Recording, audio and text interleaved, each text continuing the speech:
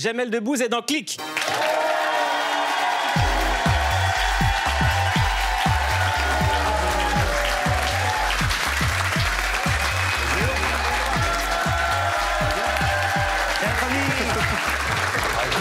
Mais oui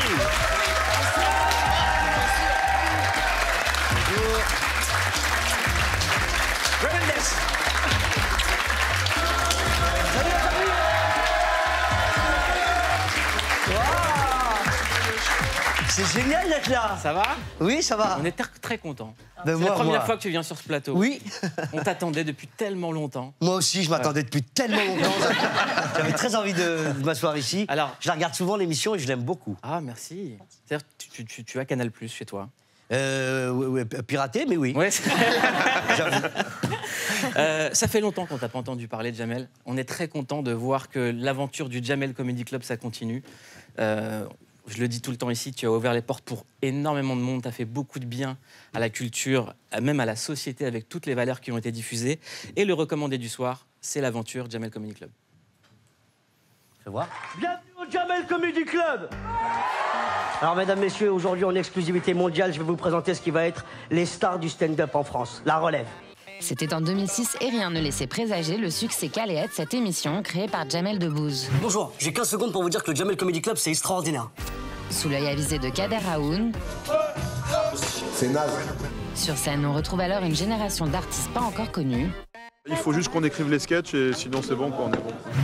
inspirés par les stars du stand-up américain, This is where we as black comedians come together and unite as one. la troupe va renouveler le genre et se l'approprier, Le stand-up, il te faut un cerveau et un micro. Et parfois même, pas de micro. C'est dire tout haut ce que beaucoup pensent euh, très bas. Comme si on parlait avec une seule personne. un seul en scène intimiste pour jouer avec le public, Are you ready? Get on down mais aussi parfois des shows qui ont inspiré les plus grands noms du spectacle. Si certains ont voulu lui coller une étiquette, La France a cru que le stand-up, c'était générationnel, c'était communautaire. Et regardez autour de vous, c'est ni générationnel ni communautaire. Il y a des enfants comme il y a des, des gens qui n'ont pas d'âge, monsieur. le Jamel Comedy Club, c'est avant tout des générations de nouveaux talents et des sketchs devenus cultes. Blanche Oui, noir. Des mathématiques, miam miam. Oh, je veux au nouloucoptère Un quoi? Au nouloucoptère Et c'est donc sans surprise que la référence du stand-up en France fait son retour à la télé pour une douzième saison. Merci d'avoir ri, merci d'avoir applaudi.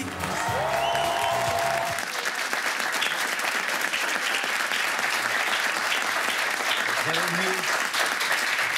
12 ans, c'est pas mal, 12 ans. Oui, oui, oui, j'ai pas vu le temps passer.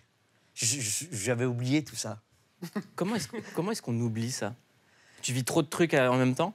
Non, parce qu'on s'est jamais arrêté. Ouais. Et ça, euh, euh, comme un robinet ouvert, ça- n'a pas arrêté de couler. On, on- on est tombé sur des artistes à chaque fois incroyables depuis Yacine Bellou, ça s'est pas arrêté. Il y, a- il y a eu, il y a eu presque deux générations, pra- pratiquement trois maintenant avec Paul Mirabel.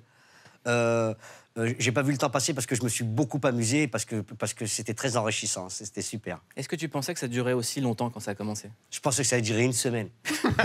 Voilà, parce que j'avais des trucs à faire derrière.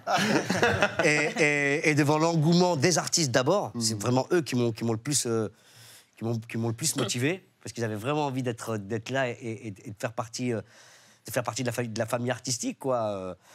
Euh, et puis et puis le public tout de suite au rendez-vous immédiatement comme une espèce d'élan euh, euh, populaire tu vois ça, ça va- ça nous a vraiment galvanisé ça nous a donné, donné envie de- d'être là jusqu'à aujourd'hui C'est important de dire ce mot populaire, parce que comme le rappelle Bounaïmin, on a souvent dit le Jamel Comedy Club, c'est communautaire. Ah non. C'est un des trucs qui m'a le plus énervé.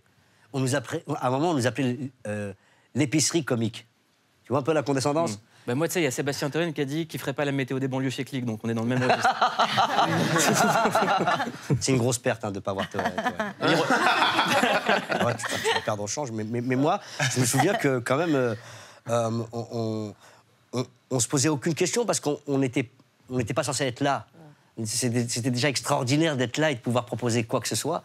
Et, et puis de, faire rentrer les copains, les copines, et de, de- de faire participer le maximum de, gens à la fête. C'était dans notre ADN. Ça a été le cas avec Omar et Fred. Ça a été le cas avec, euh, avec tous les artistes que j'ai croisés, Diams. Euh, on, vient d'une association, Mm. C'est une association culturelle qui nous a donné la, la chance de, monter sur scène. Donc, euh, je remercierai jamais assez les associations culturelles de, faire le travail qu'e- qu'elles font parce que parce que c'est elles qui mettent la lumière sur, sur des gens comme nous qui, qui sont complètement anodins au départ, tu vois. Et, et puis, euh, euh, franchement, euh, j'étais le, le, premier le premier surpris. On vient de faire une date à l'Olympia. c'est- toujours avec la même ferveur, toujours avec la même envie, toujours avec la même force qu'on présente ce show. Et, le truc qui est le plus kiffant, c'est de voir à, quel point c'est toujours aussi bien reçu. Est-ce que finalement, c'est parce que. Parce qu'on parle souvent d'engagement politique et des artistes, est-ce que c'est pas finalement ça le vrai engagement? D'avoir amené tellement de visages, tellement de diversité, tellement d'opinions Oui.